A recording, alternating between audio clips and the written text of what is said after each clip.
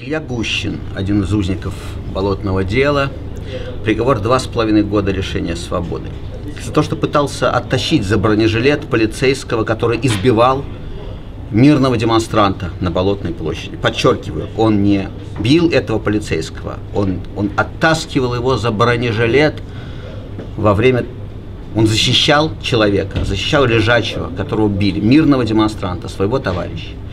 А, мы не знаем, какая была идеология у того человека, которого избивал этот полицейский. Это совершенно не важно.